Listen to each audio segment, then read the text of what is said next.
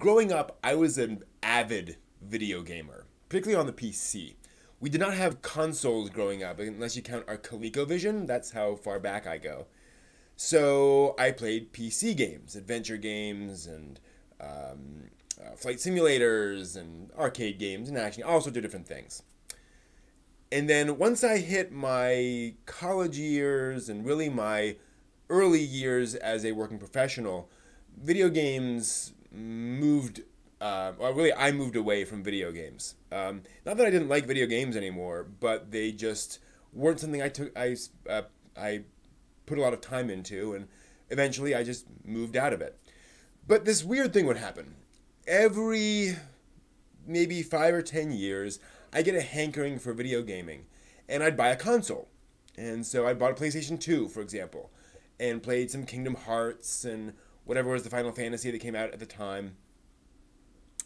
And really enjoyed them and played for a couple of months and then never played them again. Just, I wasn't into video gaming. Uh, part of the problem, too, is that console gaming is different from PC gaming, and I just didn't have the Twitch skills. And so I got rid of that. Mm, later, I got a Wii, enjoyed that, but same pattern happened. And then a few years ago, well, actually, um, year and a half ago, uh, I got really interested in Nintendo's new console, the Switch. And back when this was back not long after it had launched, and it was really hard to find a console, and so I I found one and uh, ordered one along with a copy of The Legend of Zelda: Breath of the Wild.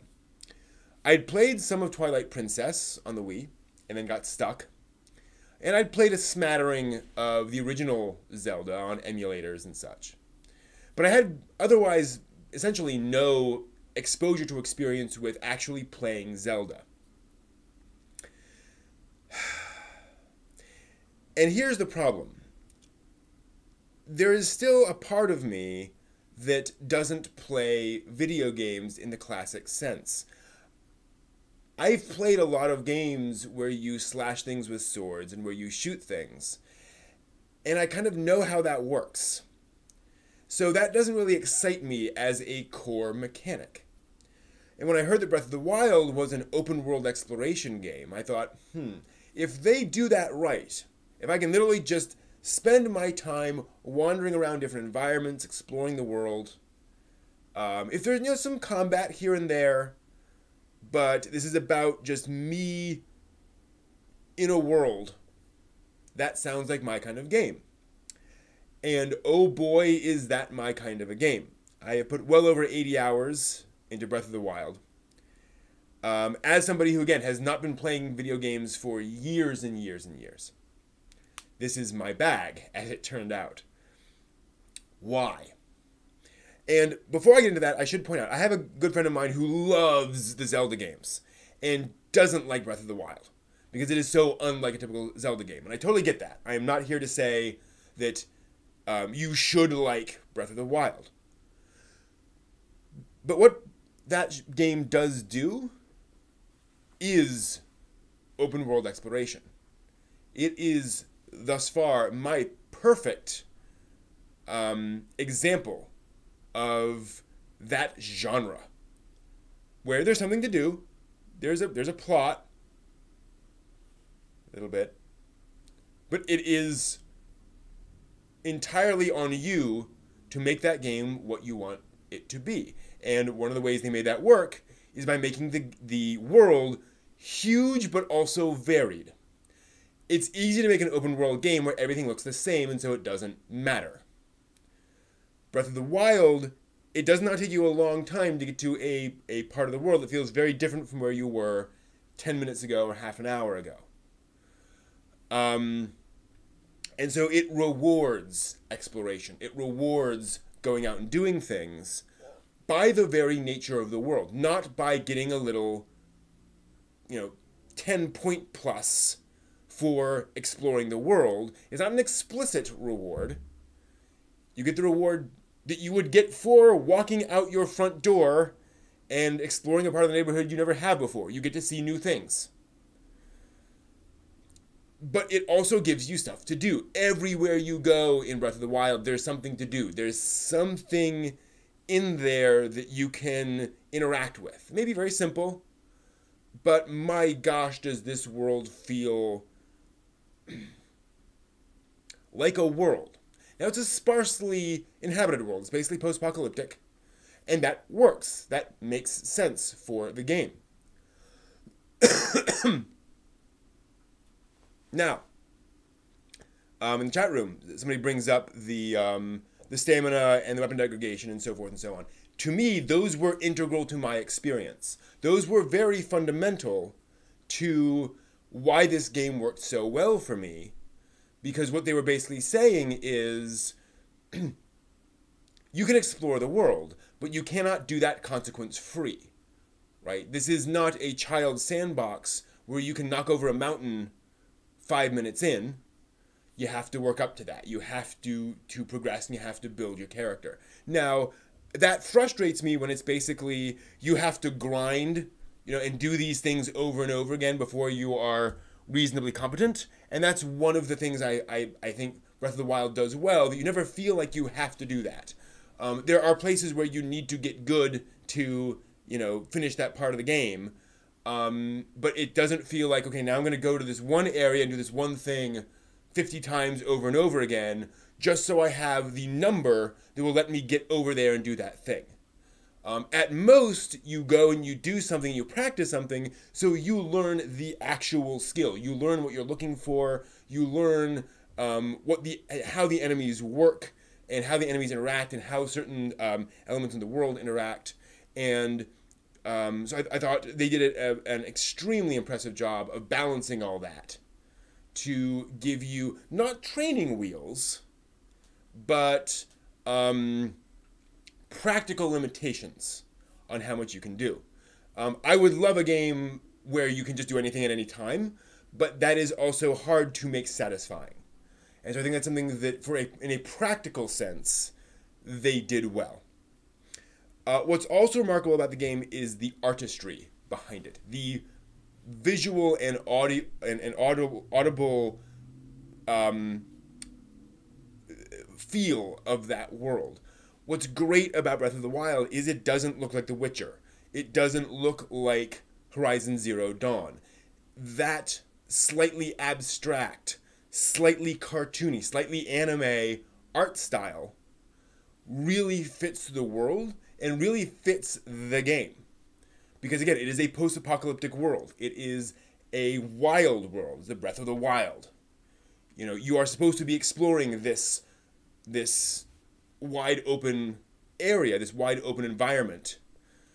And so making it hyper detailed wouldn't have, have worked right. Cyberpunk should look, you know, intense and gritty and overwhelming. Breath of the Wild should not.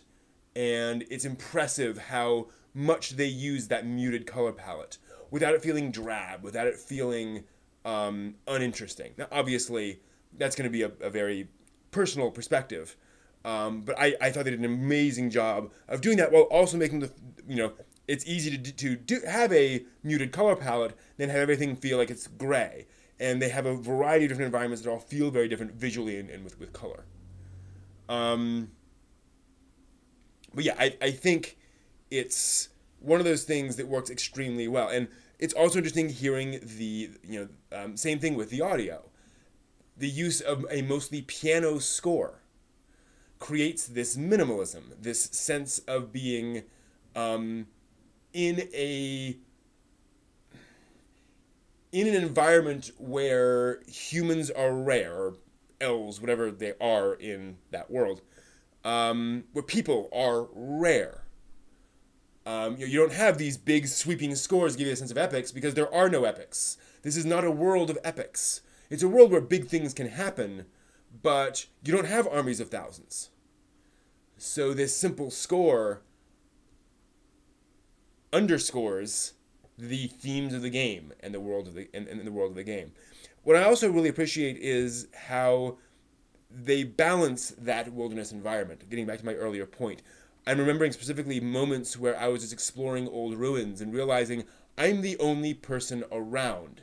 I can just enjoy this thing. I'm not having to worry that a bird is going to swoop in and start attacking me and pecking my head. I can just explore this ruin and find out what's in here and just do the thing without it doing that annoying video game thing of saying, oh, you haven't been in danger in two minutes. We have to add a danger for you to interact with because everyone has to constantly be using their weapon in every game they're using, every game they're playing. Really, really impressive there. Um, so yeah, I, I that just kind of blew me away. Um, and I'm also impressed with how much time and effort they put into the cooking system. This is something that I really did not interact with much. I don't find that whole thing of finding every single recipe particularly you know compelling for me. But seeing the depth of that, seeing how many things you could do with that, and seeing how that did impact the game, I could tell that if I learned the rules to this, I could figure out how to make really powerful, really long lasting, essentially healing potions. Um, but I didn't have to. You know, the game wasn't built such that you have to master every system in order to get to the end of the game and, and win it, which is really, really, um, you know, worthwhile, really impressive. Um, it's, it's a good example of how I think those sorts of systems can be built effectively. Where again, there's this temptation to say it's in the game, and that we've got to make sure that everybody is consuming everything in the game. That in order to have a satisfying experience, you have to kind of 100% everything. No! I will be perfectly satisfied with the game without exploring every nook and cranny because some of those nooks and crannies I don't care about, and that's totally fine. Excuse me. This is a game that, in a sense, it's not a game. It is a vacation that you take in Hyrule. You pop in that cartridge or you, you know, click on that icon and you are plopped into Hyrule and you can just wander around and explore it and interact with things and do stuff. And there's so many quests, there are so many things that you can get involved and do without ever um, completely independent of the big plot. It's one of the things I really appreciate is that, and I, I mean completely independent again, in in a lot of the other games I've tried since then, there's a sense of okay, yeah, you don't have to do everything. But if you don't, then you won't get the full story. Not so in Breath of the Wild. Um, you know, these side quests are interesting and fun, and can be um, memorable. But they don't have to tie in. It doesn't all have to be one big thing that makes you feel like you're losing out. That's one of the problems. Is that when everything works together, yes, it feels impressive, but then you kind of have to do everything, right? You can't just say, "Look, I don't want to spend, you know, all my time working on all these these different little loose ends, of which I only care about eighty percent, or sixty, or forty, or ten." Very, very well done. Again, for this kind of game, post-apocalyptic world, people scattered all over the place. Things aren't going to all weave together it makes sense and it works. Um, so I totally appreciate why long-term fans of the franchise um, don't find this to be a satisfying Zelda experience. To those people, I would say pretend that this is not a mainline Zelda game. Pretend that a couple of fans came to Nintendo and said, "We want to make an open world exploration game in Hyrule. We want it, we, we, we love open world. We want to do the open world concept with these characters and in this world. Will you let us do that? And Nintendo said yes. So do not fear Breath of the Wild. Do not think that if you like Breath of the Wild, it commits you to enjoying, you know, open world exploration and all of the things that are implied in it for every Zelda game of all time.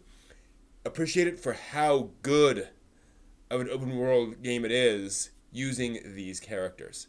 How effectively it does that. So those are some quick thoughts on, on Breath of the Wild. Didn't want to do kind of a full scale review scale thing because I don't know how to do that in video games. Uh, but hopefully this is useful to you, and I thank you for watching.